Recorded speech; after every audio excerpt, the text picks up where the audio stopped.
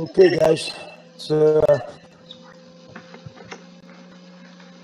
tough one, that's for sure. A lot of things went into it, but uh, ended up on the wrong end of the stick. So try to help you with what I can and get back to work. Go ahead, Keith Sargeant, head up Kyle for the first question.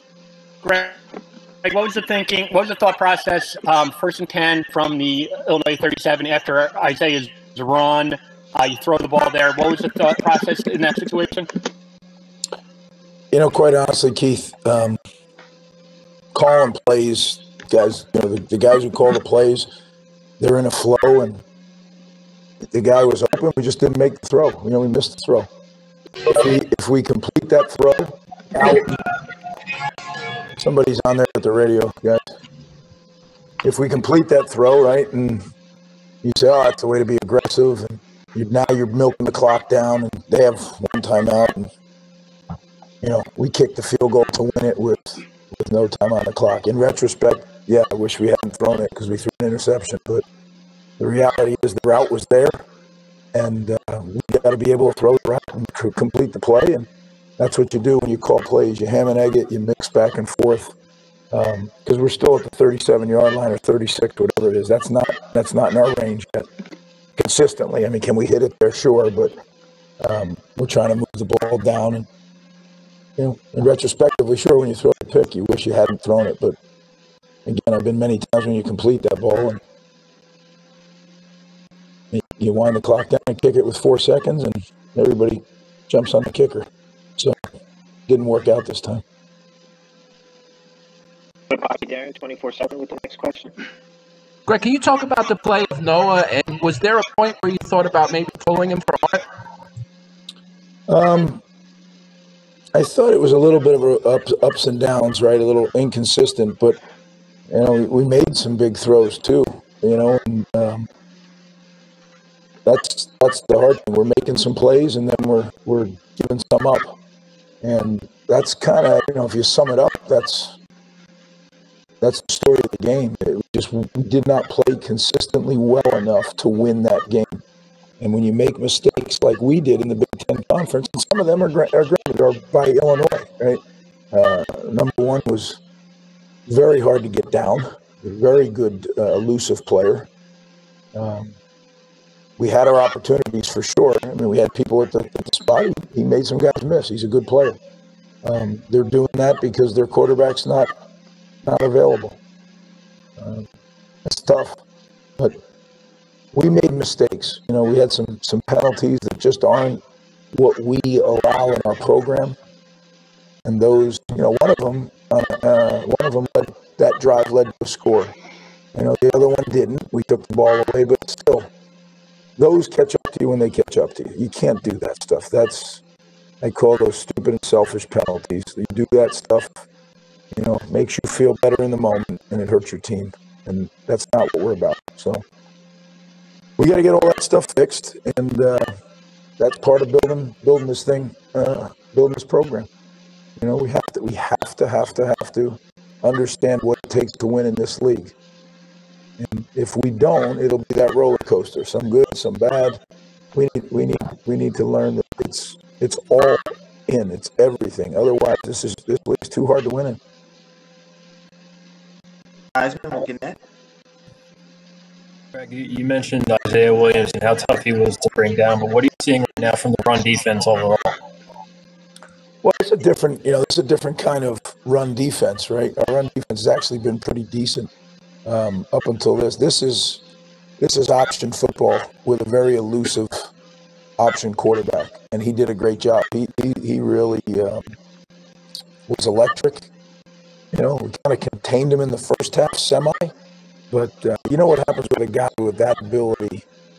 It doesn't take much. There's a little drop off if you're a little fatigued, if you're a little bit banged up, um, and you know it, that, that's the way it is, and that's college football, right? I mean, guys are going to have players like that that they jump in there. We do it a little differently with Johnny Langan, but he's very productive for us. So uh, today it was full time, and we kind of had a suspicion that's what we were going to get, but you never know for sure. Um, but he is an elusive guy. James Kratch, NBA.com. Question. Greg, I knew you talked about you're trying to get closer to the field goal. What what is going on with the kicking situation? You know, you've got you had Favre early on. Now you have Valentino. Justin's back on kickoffs, not handling place kicks. Where do you stand? Why did you go with Valentino today? Uh, I just felt like he was kicking better, you know, and it's been leading up that way. And again, those competitions are open competitions, and you see what you see on Saturdays, but I see them every day at practice, and we evaluate them. And um, you know, it's the same with every position.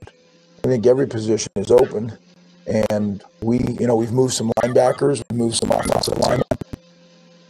This is program, and, you know, every single day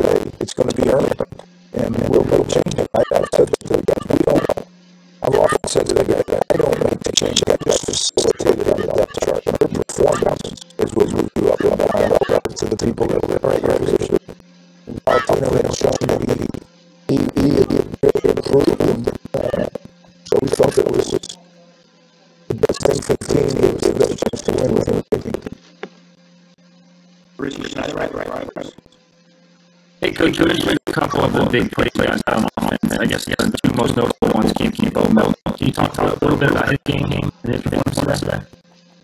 Yeah,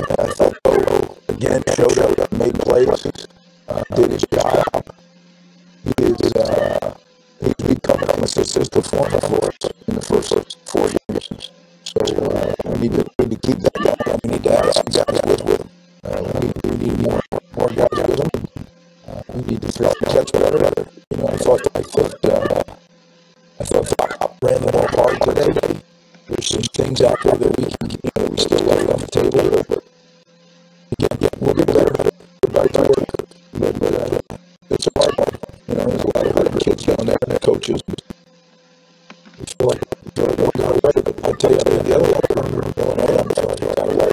They feel like to win. So that's what competitive sports are about. Competitive college football is about. Got to reload. Get ready for next week. Our next question from Jerry Carino, Gannett. Greg, what, what- what will you say to Noah this week to keep his confidence up or address any confidence concerns? Oh, Jay, there's nothing you can say. You know, uh, there's no magicians out there. Confidence is earned. So confidence to me is earned through preparation and then through performance. So when you don't perform the way you want to, then you got to go back and hit the preparation harder. And uh, I, I'm not saying he didn't prepare hard because I'm sure he did. I, I, I believe he did. He made some that were the plays that you know really gave us the lead, and then we we, we didn't make some others, and that's reality. Right? I, I don't think that coaches have one that can give people confidence. Point out what he did well, but you know you got to learn.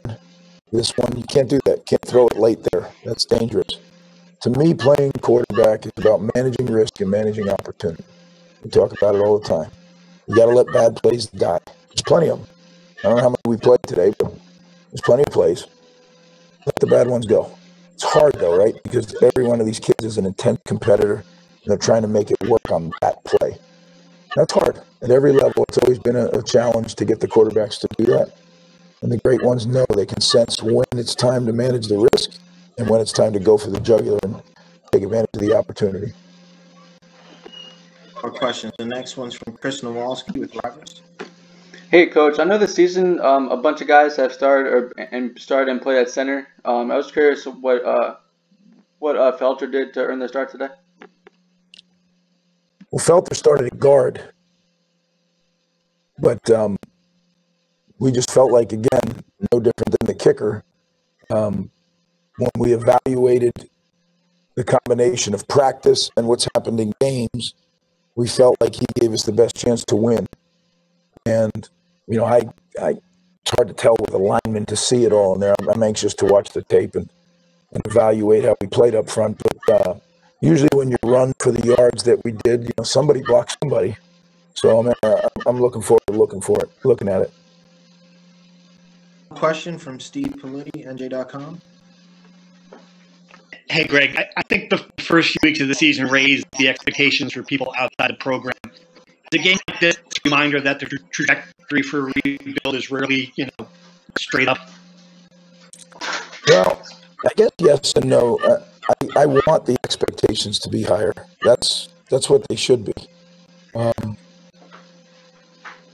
but I knew what this game was going to be. I told our team early on, and I told them throughout the week. You know, this is a team that went to a bowl game last year. They lost a lot of guys to COVID. They're 0 3. Coach Smith is a great coach. He's got a great staff. This was a wounded animal backed into a corner, and they were going to come out and fight.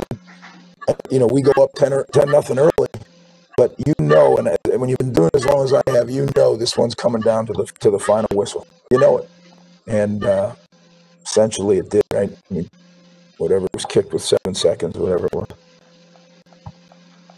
Thank you, Coach. Thank you, guys. Have a good weekend.